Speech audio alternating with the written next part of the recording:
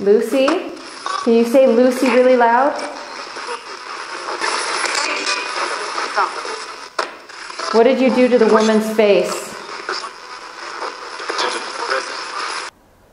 Mm-hmm. Lucy, are you here with us?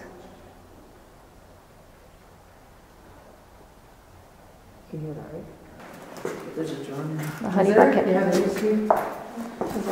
Oh, he was the the warden, one of the guards. John William.